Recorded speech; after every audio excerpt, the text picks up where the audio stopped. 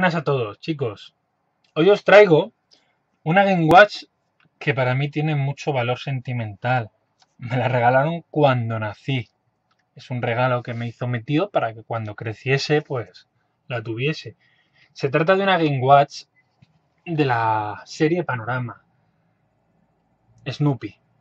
Salió en el año 1983 y ya había salido una versión de tabletop. Estas máquinas fueron una revisión de Nintendo con respecto a las tabletop porque eran muy grandes y no eran portátiles y por eso tuvieron bastante menos impacto que las que las demás. Entonces, pues lo que Nintendo intentó con esta serie, que la verdad es que para la época es un sistema increíble, intentó venderlas y le salió bien la jugada. Vamos a abrirla y vamos a verla, ¿vale? Esta es la caja de la consola y aquí viene una una fotillo de lo que tenemos que hacer. Tenemos que controlamos a Snoopy, tenemos con un con un mazo dar a las notas que está tocando, nunca me acuerdo cómo se llama, el rubio.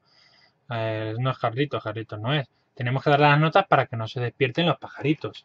Y bueno, esta es la caja, como habéis visto. Está en muy buen estado, son bastante caras.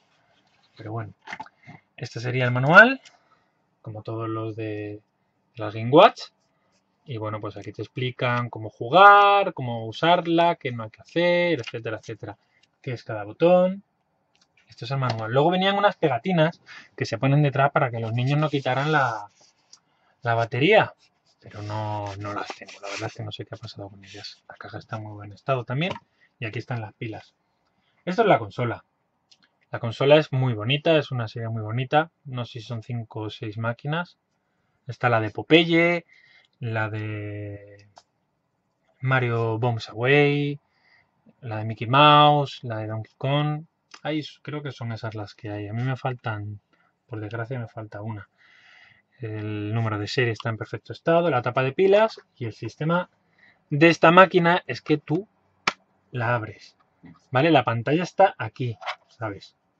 Entonces, lo que ocurre es que se refleja porque aquí hay un espejo, no sé si lo veis, hay un espejo y nosotros vemos en el espejo porque la pantalla está al revés lo que ocurre. O sea, es ingenioso, es, es, una cosa que, que, la verdad es que no sé cómo se les ocurrió. El señor Yokoi era un maestro. Vamos a encenderla y vamos a ver cómo, cómo funciona un poquito para que lo veáis. Son a todo color. Es una de las pocas series de máquinas de este tipo que son a todo color. No la vamos a ver muy bien, pero bueno, vamos a ponerle aquí una luz para que se pueda ver que, la que, que está ahí. Ahí veis, está la pantalla. Y vamos a intentar jugar, ¿no? Vamos a probar a ver. Aquí está.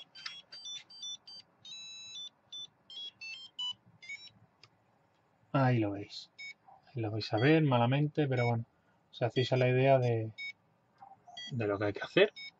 Se supone que aquí le damos, pum.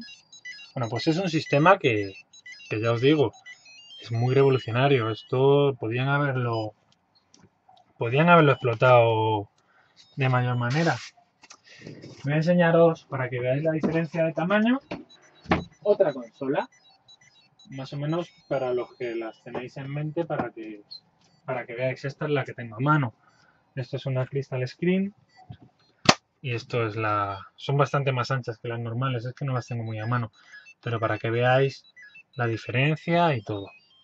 Así que nada, espero que os haya gustado y que me comentéis qué os parece. Es un sistema que tiene 32 años y a todo color. No sé, Nintendo antes se lo ocurraba más que ahora. Espero que os haya gustado el vídeo y que si os gusta Snoopy, os gustan las Game Watch, las el Nintendo, pues haceros con una. En este estado la verdad es que es bastante cara, pero yo creo que por 60 eurillos buscando bien podéis encontrar una máquina de... De hecho es la más barata de todas, pero con caja ya sabéis que la Game Watch la cosa cambia. Así que nada, un saludo y pasar un buen fin de semana que nos vamos a Extremadura de viaje, así que cuidado con las carreteras chicos.